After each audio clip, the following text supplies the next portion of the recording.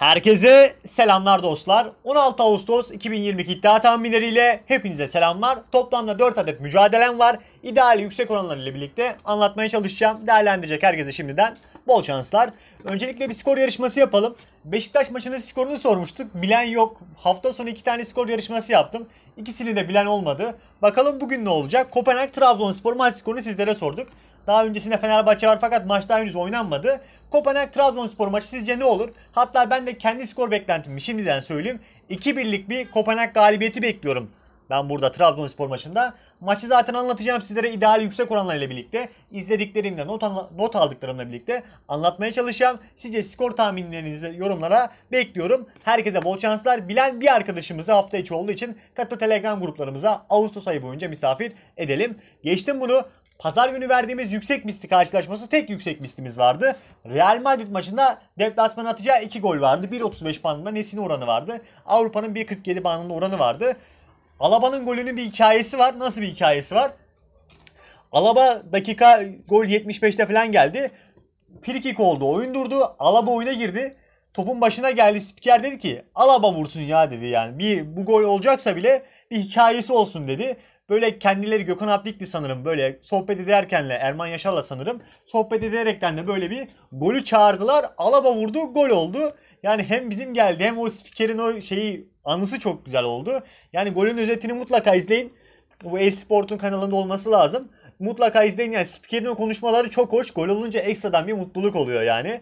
Burada deplasman 1.5 üstümüz vardı. Pazarın tek yüksek mislisi. Başarılı oldu. Geçtim bunu. Pazarın YouTube ideal kombinesi Zaniolo yazdım sadece. Anlayan anlar. Şimdi maçın özetini izlediyseniz bana pek bir şey düşmez. 6 tane kaçan net pozisyon var. İlk yarıda Zaniolo'nun tek başına kaçırmış olduğu 3 tane pozisyon. Abraham'ın Abraham'ın Dybala'nın kaçırdığı pozisyonlar pazar kombinesini yediler. Hatta ikinci golü attılar. Offside olduğundan dolayı da iptal oldu. Dakika 86'da onu da belirttim. Şanssızlık. Bakalım şansımızı ne zaman kıracağız ideal kombinelerde. Hafta sonu devam edeceğiz. Gelelim 4 tane mücadelemize. Şanssızlığımız var fakat canlı odasında da neler yaptığımızdan bahsetmek istiyorum sizlere. Dün mesela editör arkadaşımız Çağrı rolling yaptı arkadaşlar. Nelerdi rollingler? Mesela Alkmaar'ın KG varı rolling 1 olarak başladı. Başarılı oldu zaten KG varı geldi. Alkmaar'ın ilk yarıdan geldi hatta. 1.88 gibi orandan da ilk yarı 1.5 üstü olarak canlı alındı bu karşılaşmaya canlı odasında. Bayern Münih maçına dakika 2'de ilk yarı 1.5 üst girildi. 44'te geldi şansımıza. O maçta da bahsettiğim gibi 2-0 3-0 gibi skor çıkacak diye ben söyledim sizlere burada. 4.5 altında bir yaptım. 2-0 skor çıktı. Fakat Bayern Münih de kaç çok kaçırdı. Yani öyle olacağını tahmin ediyordum ben zaten. Rolling ikimiz ise 1.50 gibi orandan Chelsea'nin ilk yarıdan gelecek bir golüydü arkadaşlar. Başarılı oldu. Rolling üçümüz ilk yarıdan Bayern Münih'in gelecek bir golüydü. Dakika 23'te verildi. Rolling üçümüz o şekilde devam etti Bayern Münih'le. Dördüncü maçımız ise Rolling dördümüz. Alkmaar maçında olacak 4.5 üst goldü. O da başarılı oldu. Ve son rollingimiz de burada.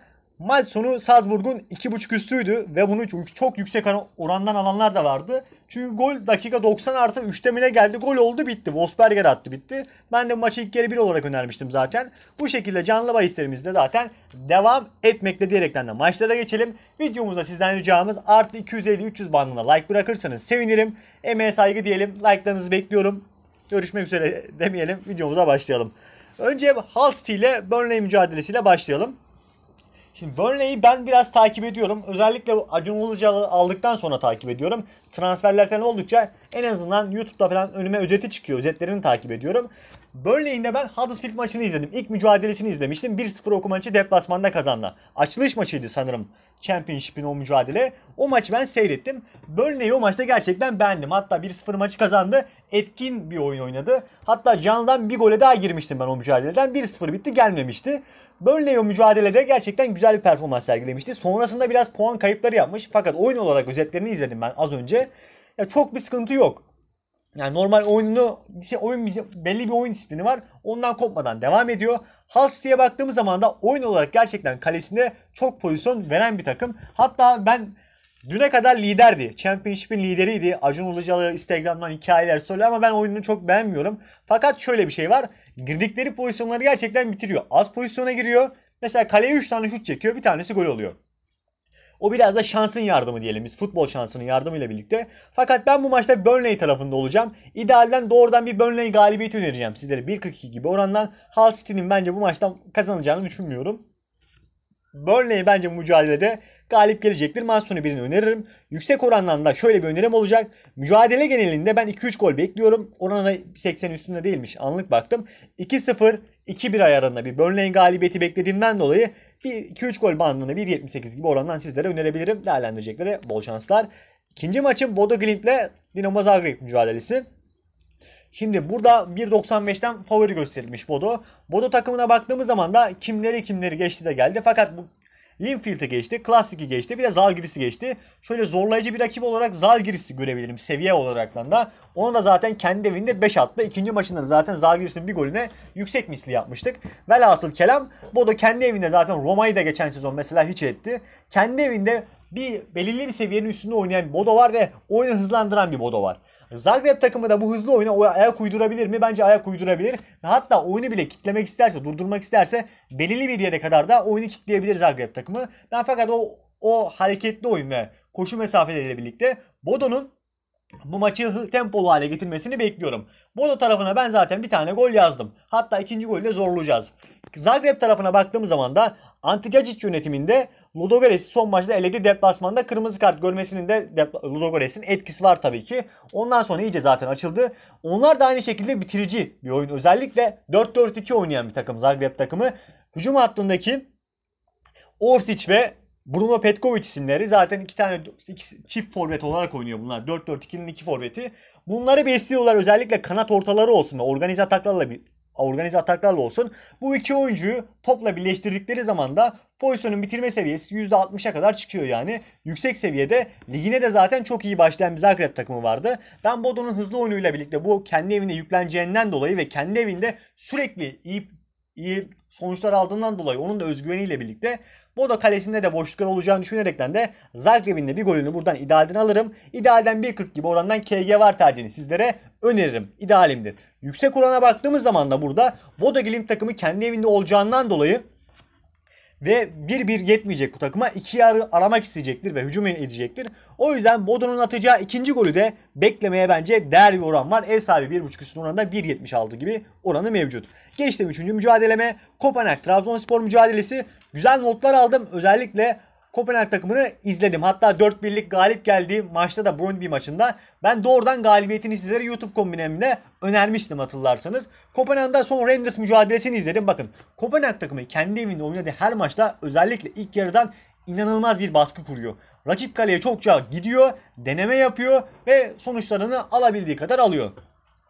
Kopenhag mesela son Rangers maçında 3-1 e, gibi skorla mağlup oldu. Fakat ilk yarıda 3 tane falan net net demeyelim de gol pozisyonu vardı yani Kopenhag tarafına. İlk yerden maçı koparmak isteyen bir Kopenhag takımı var bu mücadelede. Ve savunma hattında bence vasat bir oyun var. Özellikle Rangers'ın attığı ilk gol zaten savunmanın %100 hatası. İkinci gol ise ikinci ve üçüncü gol ise, ise özellikle Kopenhag'ın yediği gollere baktığımız zaman da ortada yaydı yani. Köşe vuruşlarına yedi. Savunma zafiyetlerinin olduğunu zaten söyleyebiliriz. Genel sezon genelinde zaten Rangers'ın bu duran toplara karşı çok bir iş yapacağını düşünmüyorum. Bizim burada önemli bir etkenimiz ne olacak Trabzonspor adına? Tabii ki onlar da izlemiştir benim gibi Trabzonspor rakip analizi yapmıştır illaki. Duran topların önemini çok iyi bilen bir Trabzonspor olacaktır diye düşünüyorum. Ve Cornelius gibi fizikli oyuncular da olduğundan dolayı Trabzonspor da burada gol atabilir. Fakat ben burada Parken Stadyumunda oynanacak maçta Kopenhag tarafına gittiğimi de söyleyeyim. Hatta skor beklentimi sordu. Skor, skoru zaten sizlere sorduk. Benim skor beklentim burada maç 2-0'dan sonra 2-1'e gelir diye düşünüyorum ben burada. Ben doğrudan bir galibiyetini sizlere yüksek orandan öneririm Kopenhag'ın burada maç sonu birini. Maç sonu birini önerdim ya. Az önce ne anlattım ben sizlere? İlk yarıdan çok iyi oynayan bir Kopenhag var. Baskılı bir Kopenhag var.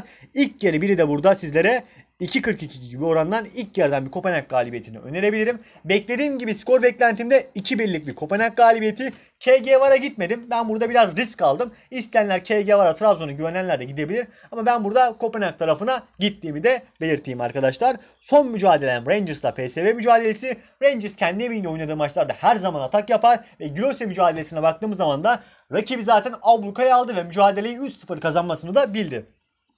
Turu da atladı zaten. Biz de zaten Matsun'u biri önerdim. İlk yarı biri önerdim. Ev sahibi iki yarı hazır.